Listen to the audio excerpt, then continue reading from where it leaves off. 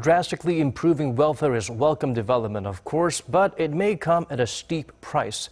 Considerable tax hikes may follow. Based on next year's government budget, welfare costs are on track to jump to a third of the entire economy by the 2060s, which would make Korea the biggest welfare spender in the world. Kim Ji-yeon crunched the numbers for us.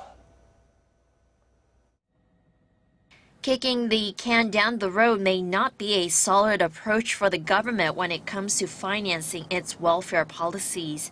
A report by the Korea Economic Research Institute released on Wednesday shows the country's welfare expenses to GDP ratio is estimated to surpass nearly 20.5% by 2030, hovering above the predicted OECD average.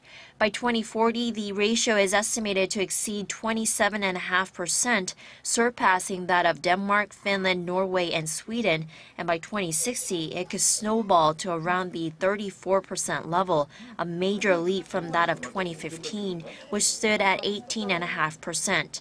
The report said it took into account variables associated with Korea's rapidly aging society, including demographic trends and rises in income, and concluded that a general tax hike to over 35% may be inevitable in Korea by 2060. Last month, the Moon Jae-in administration proposed a lot more than a third of its 382 billion US dollar budget for 2018 to job creation and social welfare programs, a record on-year increase of 12.9 percent.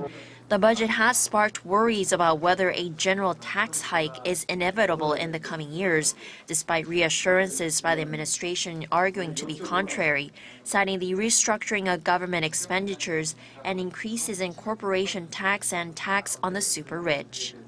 Kim Ji-yeon, Arirang News.